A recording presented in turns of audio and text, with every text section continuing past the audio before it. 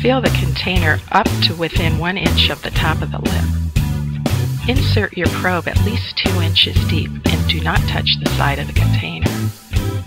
Storing your thermometer in a protective sleeve is always a good idea.